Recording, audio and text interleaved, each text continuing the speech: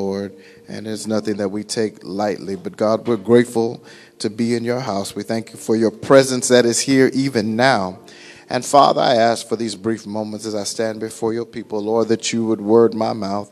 Father, that you would give me what to say and how to say it. Lord, speak through these lips of clay. Lord, let someone be inspired. Let someone be encouraged. Let someone leave here differently than how they came. Lord, it is your word that is a lamp unto our feet. It is a light unto our pathway. Lord, that you would give us which way to go, Lord, how to walk, how to talk before you, Lord. Let the seed of the word take root in our hearts on today, Lord. And let someone leave here changed, saying, Surely I have been in the presence of the Lord. And God, we will be careful and mindful to give your name the praise. We will give your name the glory. We will give your name the honor for all that is said and done. In Jesus' mighty name we pray. Amen.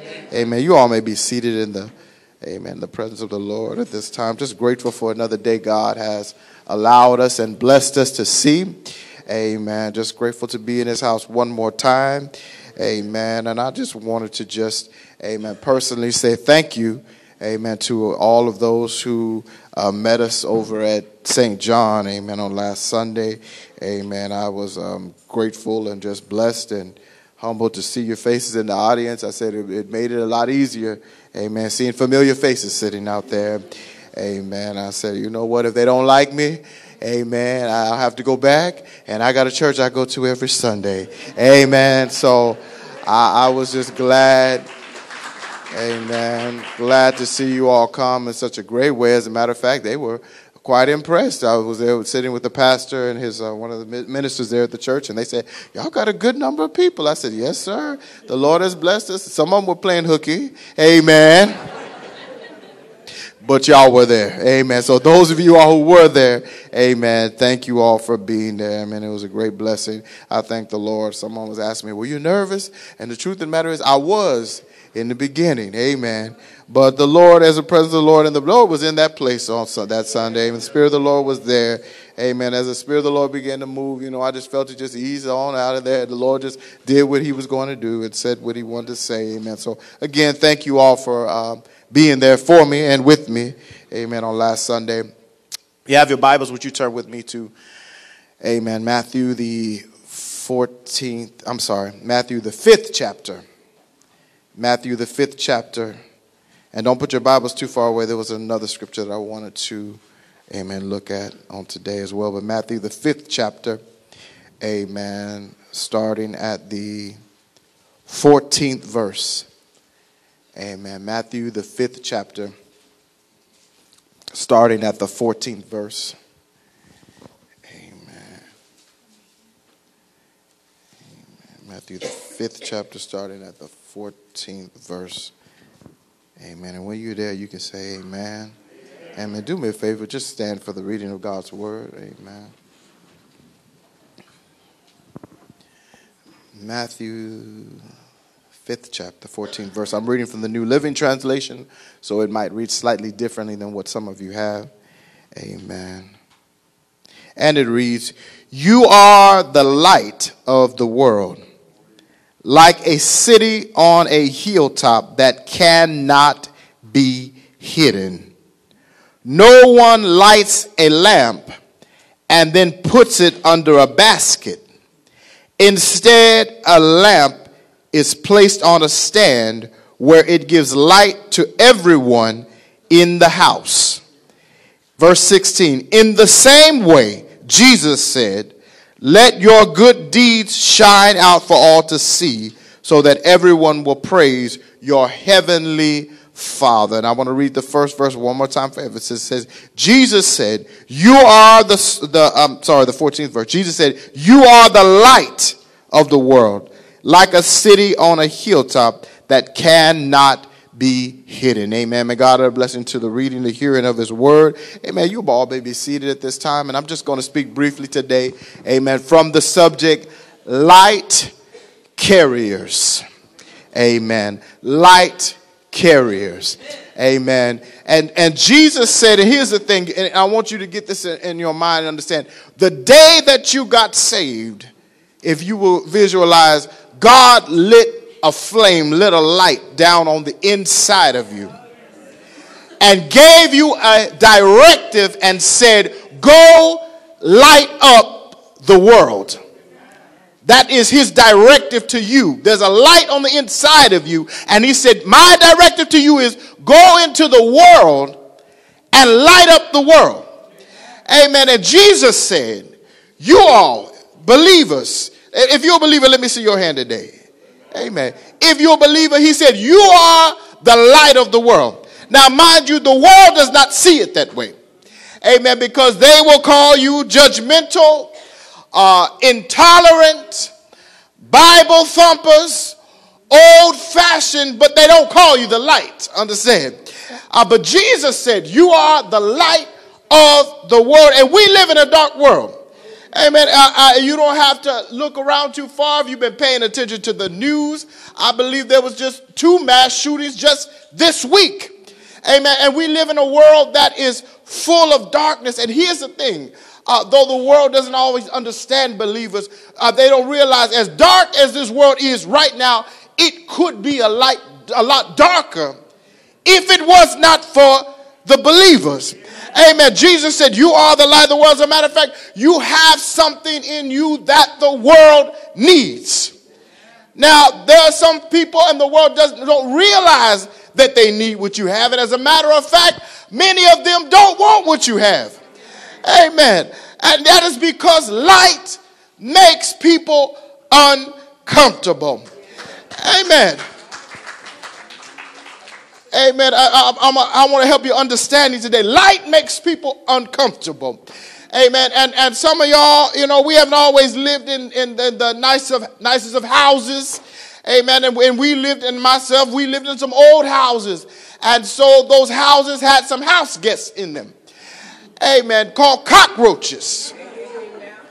And some of y'all gonna act bougie this morning and act like, you know, I don't know what he's talking about, but that's all right. I have some witnesses in here today that you know in, in the middle of the night you know you'd go to get something and and your house guests were up. And when you would turn the light on what would happen? Oh so you some people know what i'm talking about. The house guests the cockroaches would scatter when the light came on. And that is the effect that light has on those that are in sin. And there's a reason why. I want you to turn with me to John, the third chapter. Amen. John, the third chapter. Amen. John, the third chapter, and the 19th verse. And if you've ever wondered why this happens, John, the third chapter, 19th verse. Amen. Jesus said, You all are the light of the world. Go into the world and let your light shine among men in all of this darkness. John, the third chapter, and the 19th verse. Amen. And when you're there, you can say amen.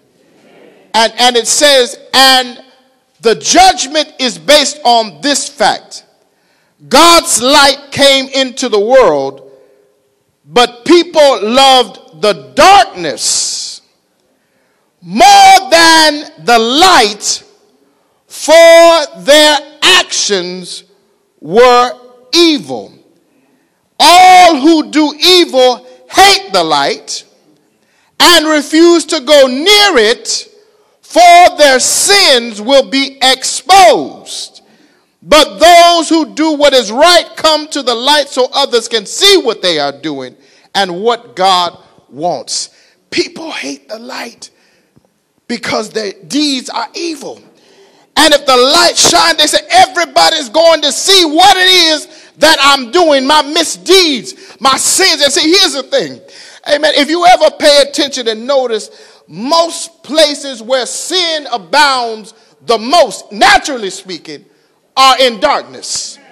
And I mean in darkness because we got lights on here today. But if you go to the club,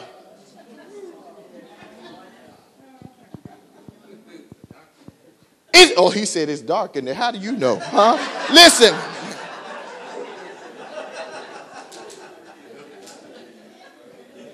When you go to the club, the lights are out. It's dark, it's dim.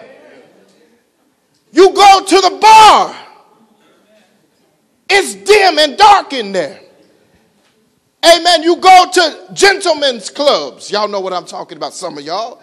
Amen. It's dark in there. See, because you could be in there with somebody that is not your husband or your wife, and nobody's going to know. You off in the corner and it's dark. You go to the casinos and it's dark. Most places where sin abounds. Amen. It's dark. And when it's time to go, they turn the lights on. Time to get out. That is, there's a reason for that. Because people feel comfortable. Nobody sees me. Nobody knows what I'm doing, what I'm drinking. Oh, and some of y'all, you know, you went to the movies with your little girlfriend and you wait till the lights went out before you made your move. Come on. Y'all don't want to talk. Amen. You pretending like you yawn and trying to get your arm around her. Eh? When the lights go out. Why? Nobody sees what it is that I'm doing. And wherever darkness is, sin abounds the most. Amen. When most people get into trouble, most crimes are committed after dark. Amen. There's a crude saying that some of the old saints used to say, and I'm not going to say the full thing, but some of y'all know what I'm talking about. They would say, well, nothing good open after uh, two o'clock in the morning, except, and I'm not going to say the rest of it, but y'all know what I'm talking about. Amen. And some of you, if you're honest, some of the dirt that you did, some of the mischief that you did was in the dark. Amen. And if you couldn't, if, if it wasn't dark, it could have been in the middle of the day. You went and found you some darkness. What do I mean? You went off into a room, you went into your apartment and shut the door. Amen. Pull the blinds down. Amen. Got up under the cover. Why? To hide what it was that you were doing. But now you are in the light. Amen. Thank God. Amen. Now you are in the light, and as a matter of fact, more than that, you are a light carrier. Amen. And I know that that sounds exciting. Amen. And it's a wonderful thing to say. I am a light carrier. You can say that about yourself. I want y'all to say that. Say, I am, a light carrier. Amen. And that sounds wonderful. But the truth of the matter is, that title should come with a warning. Amen. It should come with a disclaimer that says you are subject to be misunderstood. Amen. That title, light carrier, should come with a disclaimer that says subject to be rejected. Amen. Because Jesus himself was a light carrier. As a matter of fact, he was the light. And the Bible said the light shined in darkness, and the darkness comprehended it not, and they rejected the light of the world. Amen. And so here's the thing we come into this marvelous light, and God ignites a flame down on the inside of us and gives you a directive and says, Go out there and light up the world, go in the midst of darkness, and let your light so shine among men. Let them see the light. And you go out and be the light, but something strange happens when the light comes on the scene. Amen. Because all of a sudden, when you come around, they say, Hide the beer. Huh? They say, Hide the weed.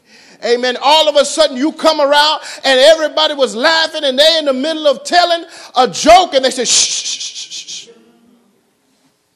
Here she comes. Hold on. Shh. Wait a minute. Let's go over here. Amen. As I've had the experience, let's go eat at this table. We don't want, shh. And you say, what's wrong? Everybody used to like me.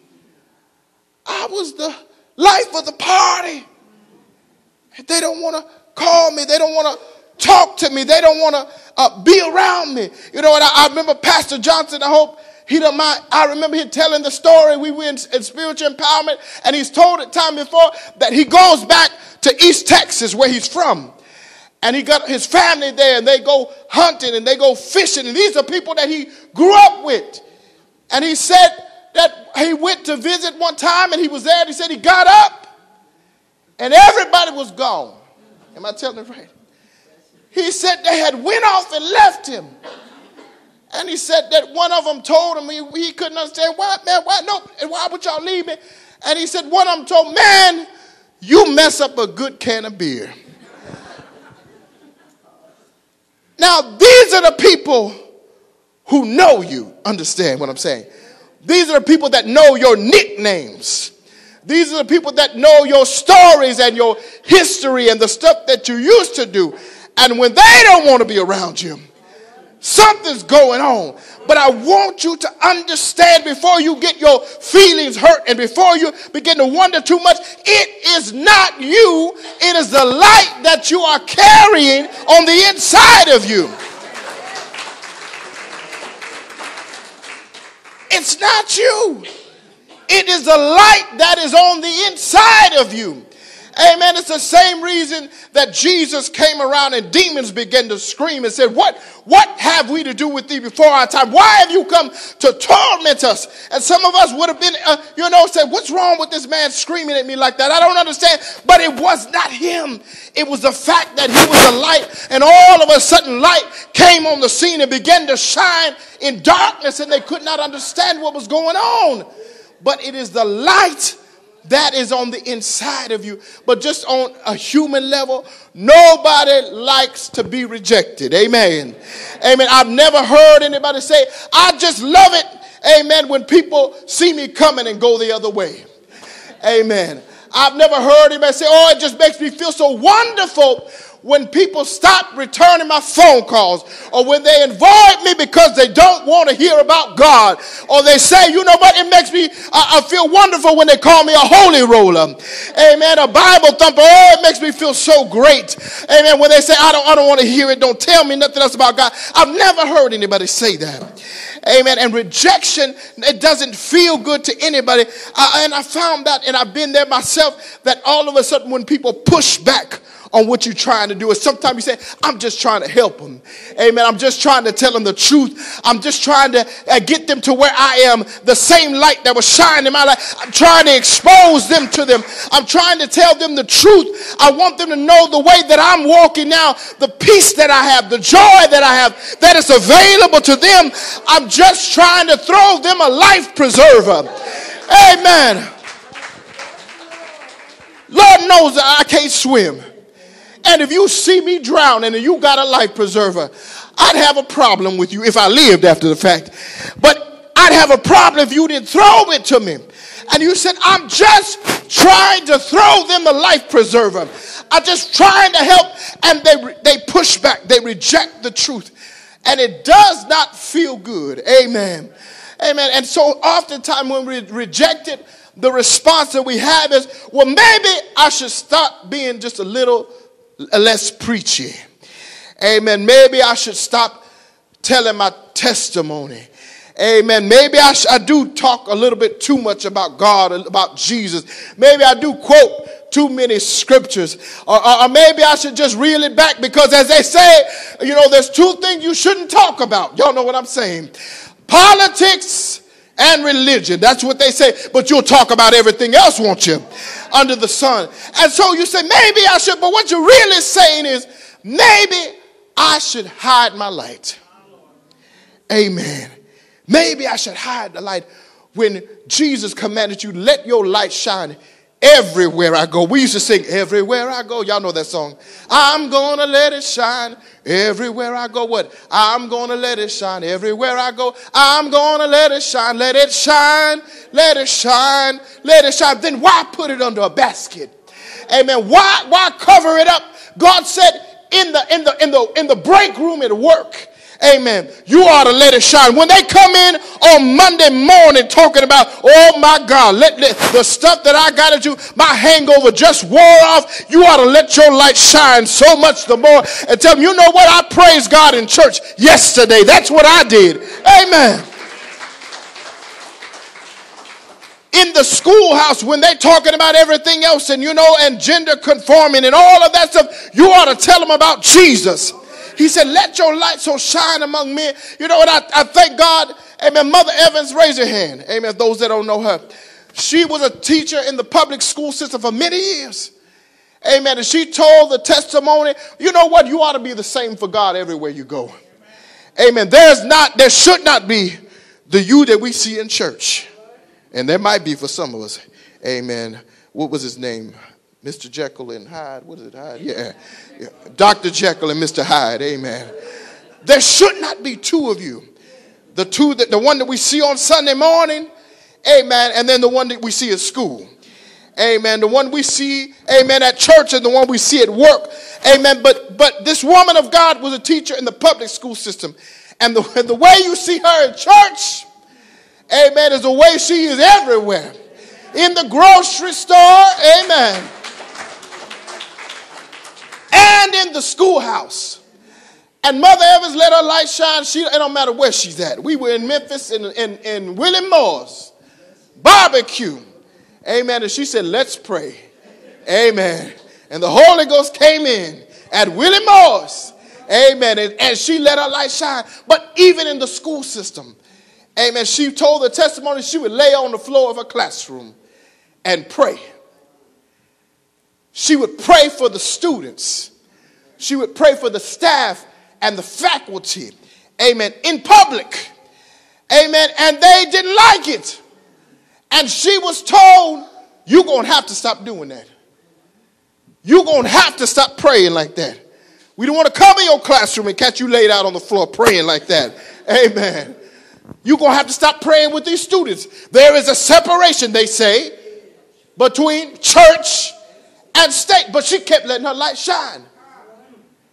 And she told the testimony one day that the principal called her to the office and said, I said, I told you about that praying stuff and that I told you about praying in your classroom and praying for the teachers and praying for the students. And she told him, Well, I'm praying right now.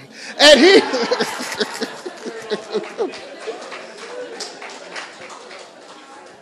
and the principal told her, Get out. And she lost her job over that. But you know what? Her light is still shining.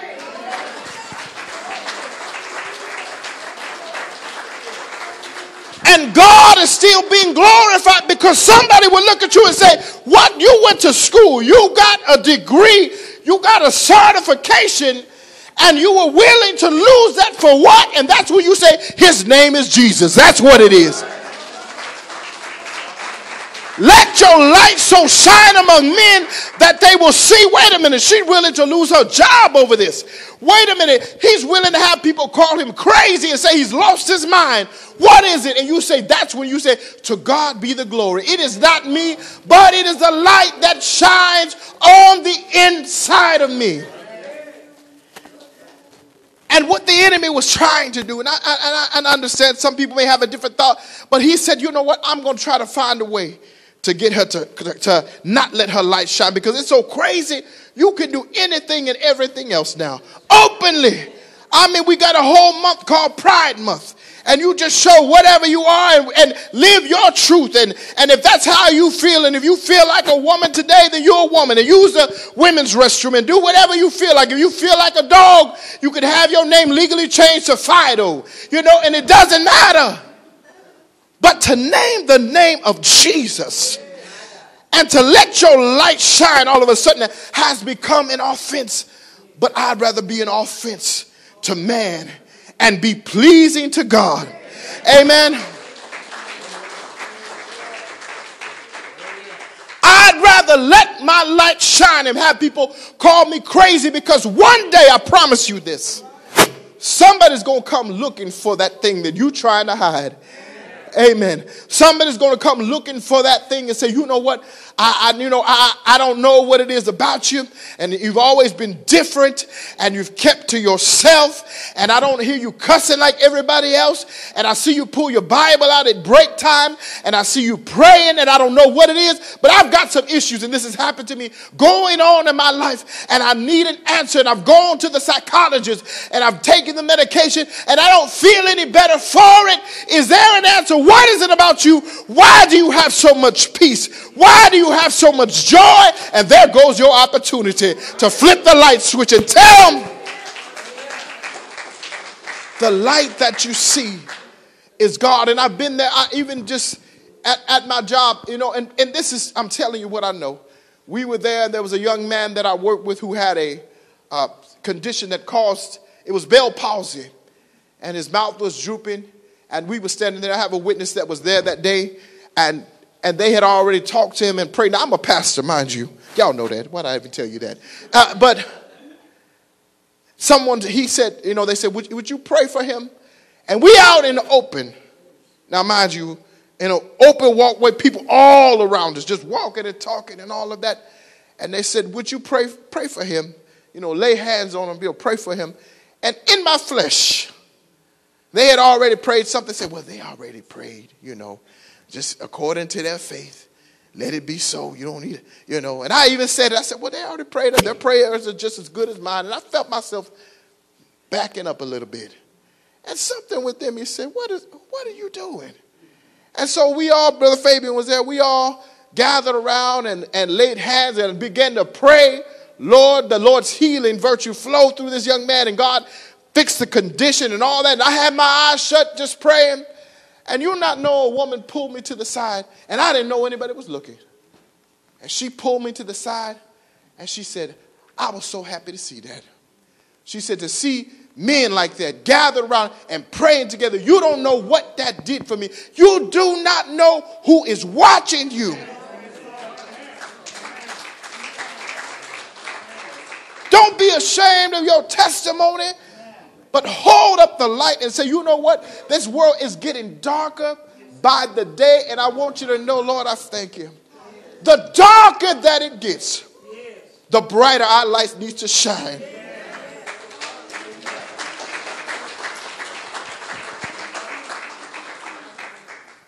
And the enemy's desire, he said, you know what?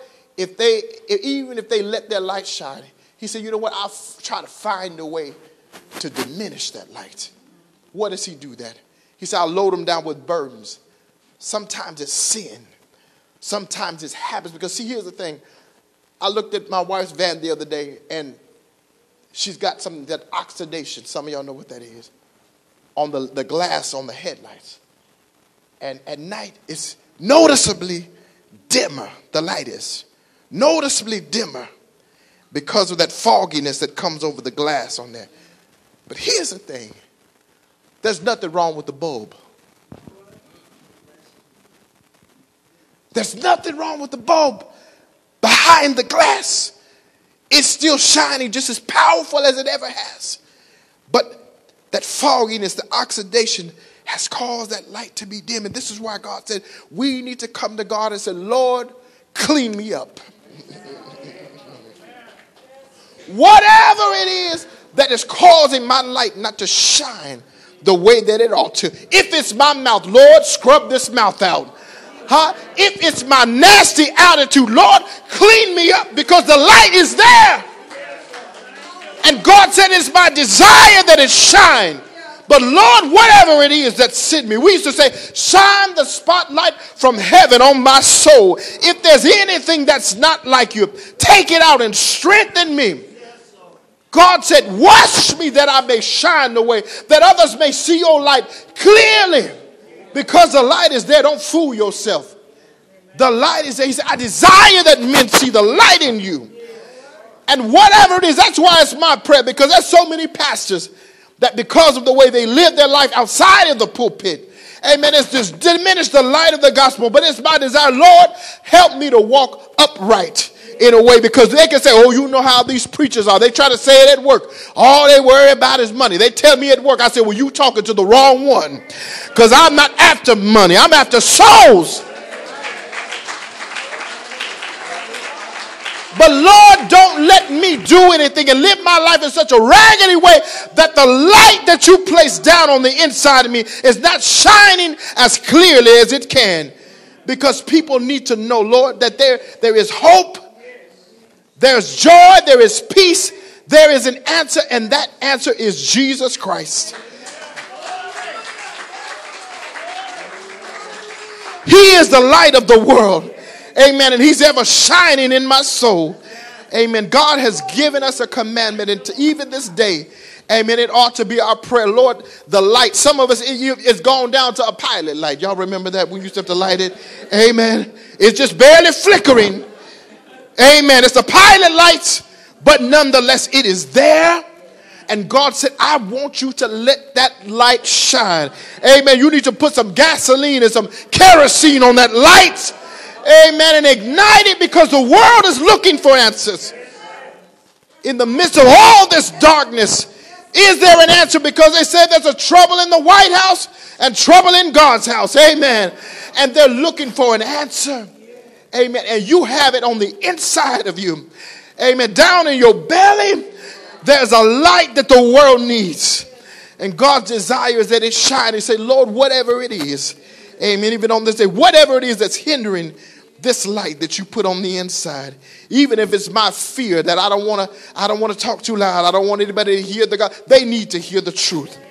Everybody else is loud with their truth, and you have the truth.